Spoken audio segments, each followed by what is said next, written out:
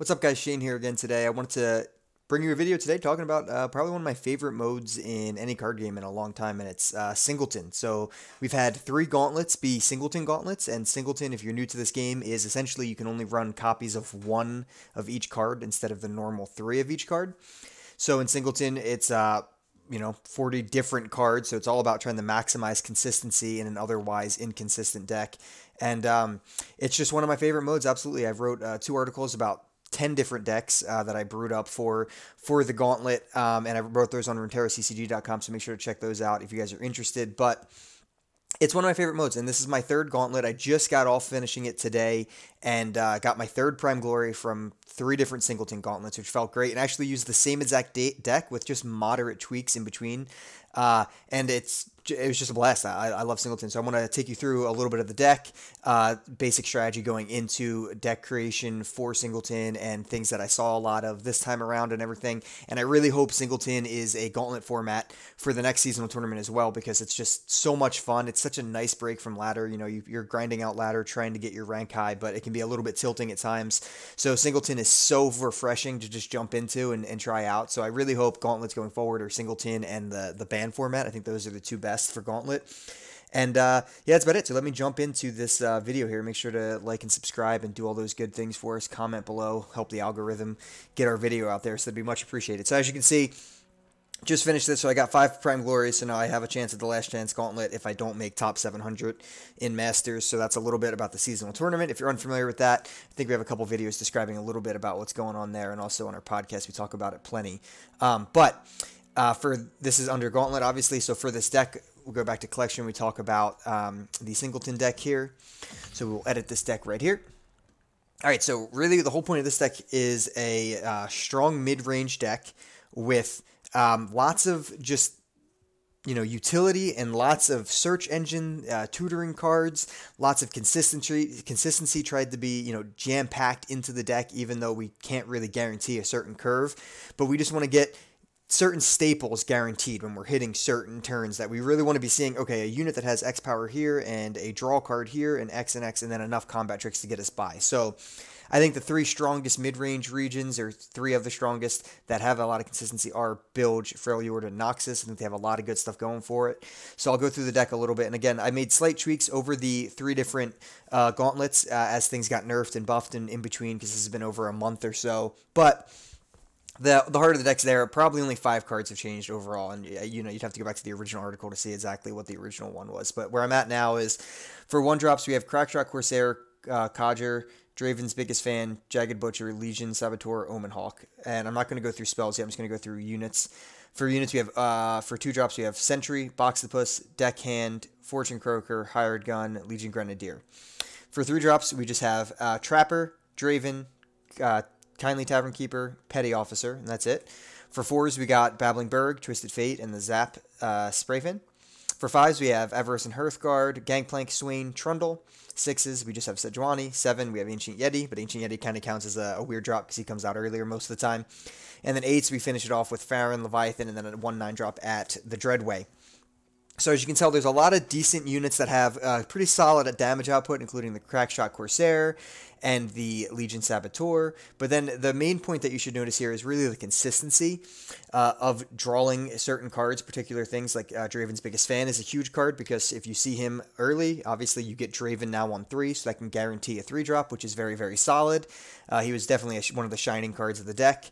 You can also see things like the Avarosan Sentry, just to make sure you're going to get to draw a card, as well as the Fortune Croaker as well. We just want to draw a card here. And again, I'm just going through units. Uh, the Trapper is really solid because it might slow down what you're drawing in a normal deck and it might kind of throw off the curve, but this card still seems a lot of play, even still.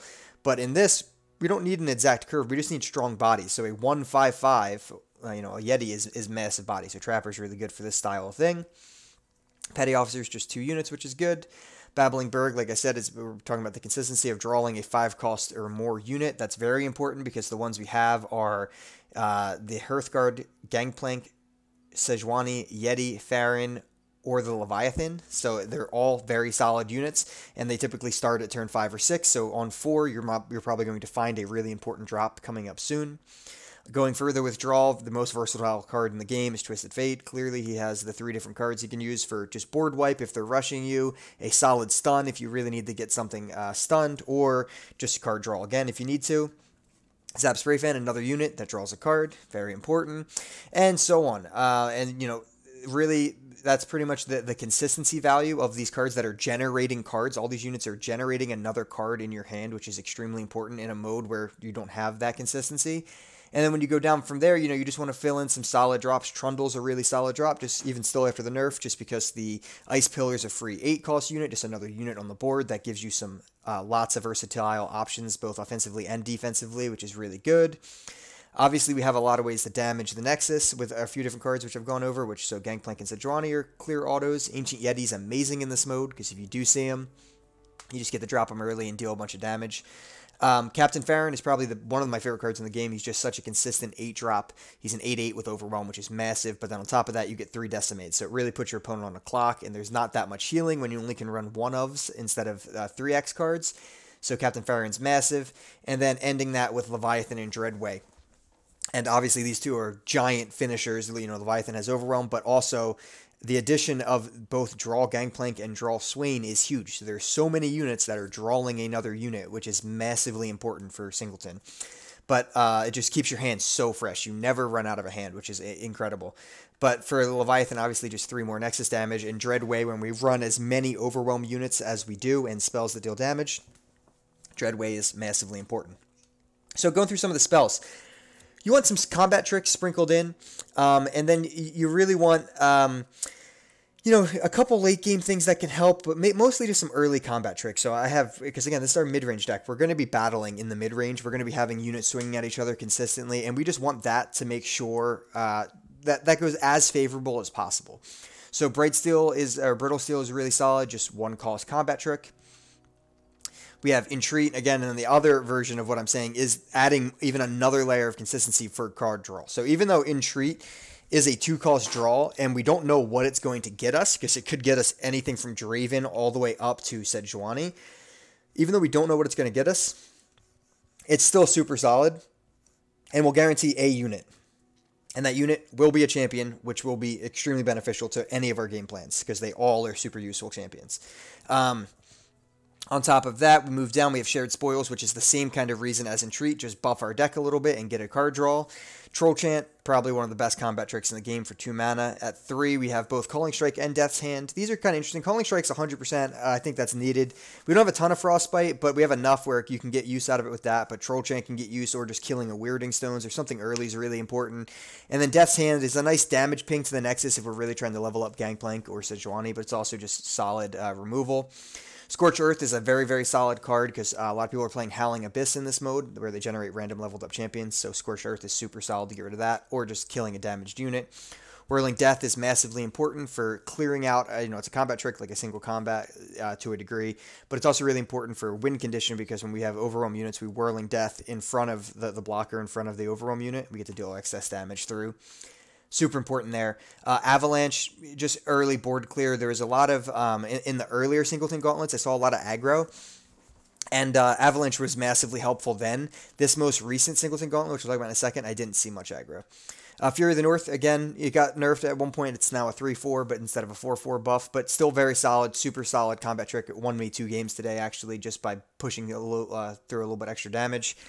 At the top end, we don't really run much spells at all. We have Harsh Winds, which is just a fantastic combat trick, both offensively or defensively. You can get two extremely favorable trades, or you can just stop lethal for a turn. And then we have Icequake, which is just, again, more for that, okay, am I getting rushed by scout style decks? I just need to wipe the board. Um, today, in this uh, gauntlet, it was mostly ramp decks. I saw one or two mid range decks, and then the rest were ramp, and I saw zero aggro decks. I think I lost one or two games along the way. So it was I played like nine or so games. And um, yeah, if I had to make any changes, I would take out uh, for, for the current meta. At least I would take out Avalanche and Icequake because there's no need for these unless we're seeing a lot of those other small, shorter mid-range decks or aggro decks. We can really compete with some of our Frost against some of the mid-range stuff. I would definitely take out those two if it's going to be a ramp meta. 100%. They they both need to go. We aren't stalling enough to actually include Howling Abyss ourselves because we're actually trying to push the damage quickly. And I lost one or two games to ramp today. So any changes I would make would probably be some of the uh, maybe obviously like I said those two cards definitely come out. I think possibly fitting in uh, Tryndamere over maybe Swain or maybe even Trundle or even TF would be really solid because that helps that matchup a lot. It stops them just being able to vengeance one of my units or just crumble one of my units. So I would say something along those lines, and then maybe a couple thicker bodies early on. Uh, we probably don't need the deckhand anymore. The deckhand was in here originally when we had Make It Rain, and now there are not enough spells for this to actually matter. We obviously have a couple skills where it could matter with Legion Saboteur and Gangplank and things like that, but for the most part, deckhand's not super needed. He's still actually solid just to throw out a keg and then your opponent normally drags it out. You save some damage just because it's early and they don't want to take it. But I would probably drop that. Avalanche, Icequake would be the first three cards I would drop. And then I would add some slight anti uh, which we call anti uh, ramp cards. I would maybe even add like a Noxian Guillotine just to get a few different picks off of certain units because that was very rough uh, when I, I would poke different big units, but they wouldn't actually die uh, and things like that. One card that really shut me down today was uh, Infinite Mind Splitter, shut me down in two different games. Um, so that card's super strong. A, a, nice way to be able to get that off would probably be, like I said, the Noxian Guillotine because I got to poke it plenty of times, but wasn't able to uh, kill it any other way. So maybe that is a solid addition. And uh, from there, maybe some other anti-ramp cards. You know, the late game felt good. Like I said, Tryndamere could be used uh, as an addition, but we don't. We could even add Feel the Rush as like a super late game. Like, all right, well, we kind of missed what we want, and now drop this. But not my favorite idea. I think we have enough tech for certain things. Uh, there's plenty of other cards that we could add. Like Riptide Rex got nerfed recently, but he's a super solid addition to a mid-range deck like this, and he was in a version before.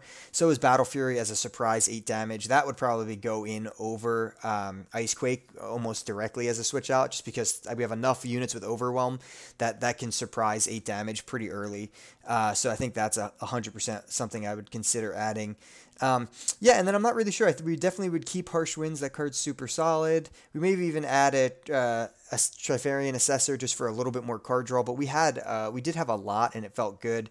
One possible other thing we could actually add would be Decisive Maneuver, since we do have a lot of Overwhelm. That this card saw a lot of play recently, and I did a deck breakdown for a Freljord, uh, Darius, and Draven deck that's using a lot of Overwhelm units and it was super super useful. So I would probably slot in if I was being honest, and you know we'll make the changes now as we're going through the video.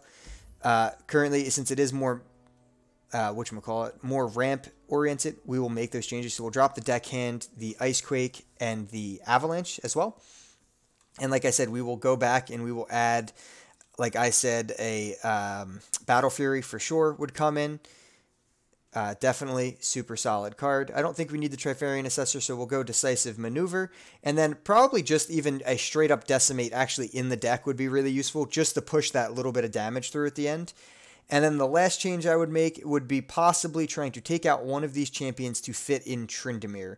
But I'm not going to make that at the moment because that would have to take some thinking. I think the only champion we really have the ability to remove here would be uh, Twisted Fate, just because the other ones are extremely important, or or Trundle technically but both of those don't feel super great because they do have a lot of versatility for Tryndamere. So this is where I probably would take the deck now, and I'll throw this code in with the adjusted uh, adjustments. Uh, throw the deck code in the comments and both the description below as well, because this is where I think is the best option for us to counter ramp successfully.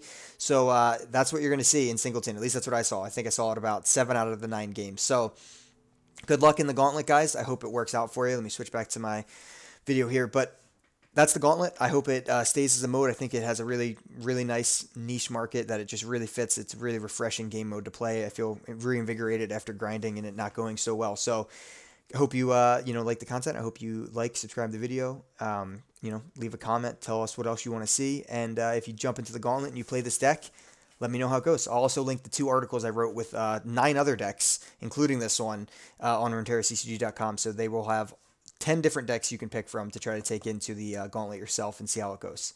Thanks, guys. Until next time.